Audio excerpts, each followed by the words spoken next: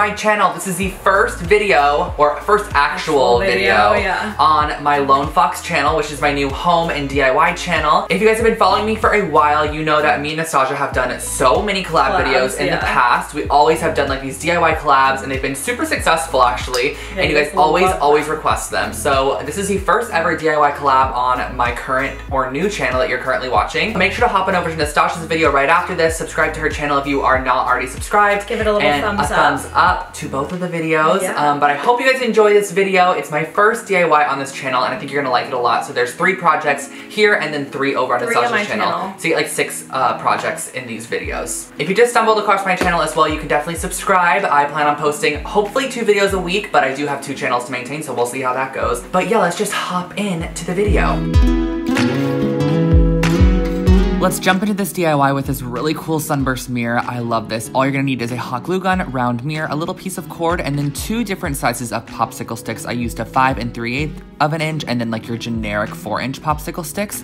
And all I did was take the longer popsicle sticks and use a little bit of hot glue to glue to the end of the mirror. And do keep in mind that hot glue is not the best for gluing to mirrors, but it is a quick and effective way. So if you plan to just hang this on the wall right after and not move it or like mess with it as much, you're gonna be totally fine. But I just decided to use hot glue and I glued around the bottom half of the mirror using the longer sticks. And I just left tiny little gaps in between because I knew I wanted to add the smaller um, or shorter sticks sort of in between to layer it up a bit. So as you can see, after I added the bottom ones on there and left little gaps in between, I then flipped the other popsicle sticks on their side and kind of laid them in there to where they were tilted like this. I guess you can watch the video to see how I do it. I don't really know how to explain it. I just tilted them in there and shoved them in the little um, slots that it created in between the sticks. And this just sort of gave it a 3D, more dimensional, like really thought out look that I thought looked really amazing. And overall, it added a really nice texture to the bottom half of this mirror.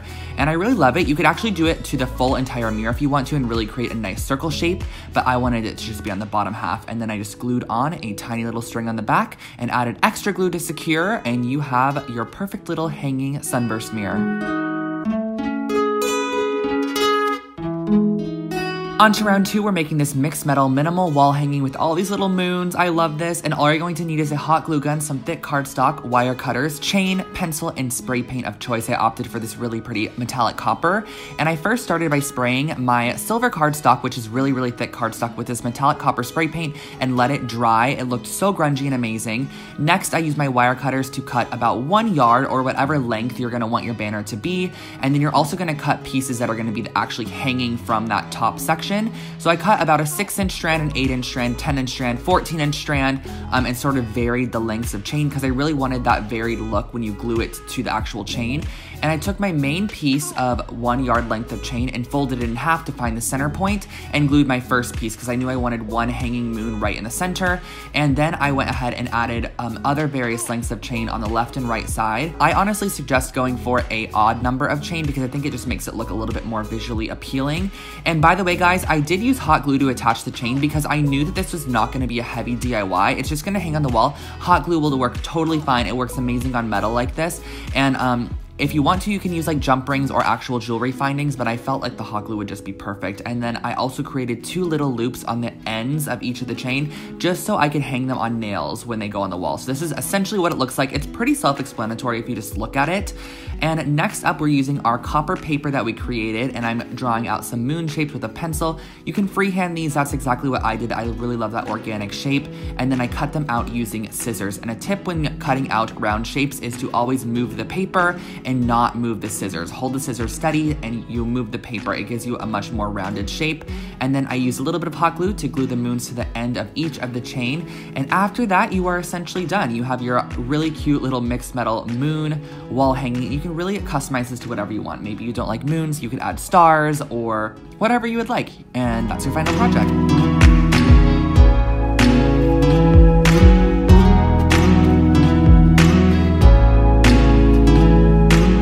Last but not least, we have this super simple Polaroid photo frame holder, and all you're gonna need is a wooden sign, some white paint, a paintbrush, a screw hook, and some clear little bags. These ones are three by four inches. I got them at Michael's. And I started off by painting my wooden sign, which was also found at Michael's for just $1.50 with some white craft paint and just a foam brush. And once that was dry, I used my screw-in wall hook, which you could paint white like I did. You could screw it into the top of your board here, and this is going to sort of create the hanger for your little Polaroid frame. And I took my bags and I used a hole punch to hole punch the top of the bag. And a tip when hole punching through plastic is just to put paper on either side. It goes through much easier. You could slide little Polaroids into these 3x4 bags and you can put like 20 of them on here and hold them all on your little frame. Or you could punch directly through a larger Polaroid, like I have larger ones like this as well. And I personally didn't mind punching directly through because I love the way that it looked. And once you're complete, you'll have this little Polaroid photo frame which you could hold multiple Polaroids in or just one on display that you really love. So I hope you enjoyed this video, guys. Don't forget to scroll over my profile photo to subscribe to my channel. You could also check out a video from my fashion channel on the bottom right and a video from my current channel on the top right. Thanks for watching and I'll see you in the next one.